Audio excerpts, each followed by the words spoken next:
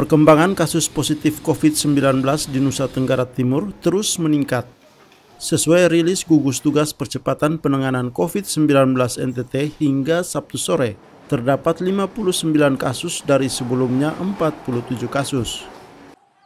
Dari 46 sampel swab yang diperiksa, terdapat penambahan 12 kasus COVID-19.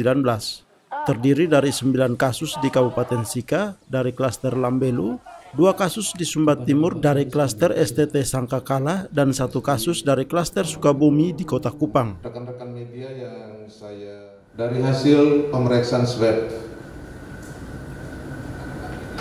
ada 46 sampel yang dikeluarkan oleh Laboratorium Biomolekuler Rumah Sakit Umum Daerah Profesor W.J. Johannes Kupang diketahui bahwa ada penambahan 12 kasus COVID-19 ya, positif COVID-19 terkonfirmasi.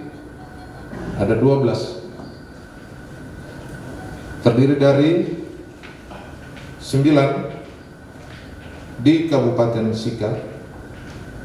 Dari Kabupaten Sika. Masih dari klaster KM Lambelu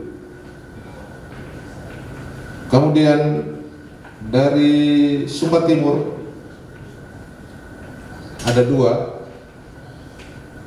kasus COVID-19 plus positif dari klaster STT Sangkakala.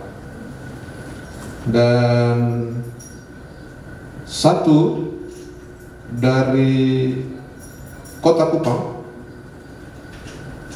itu dari klaster Sukabumi.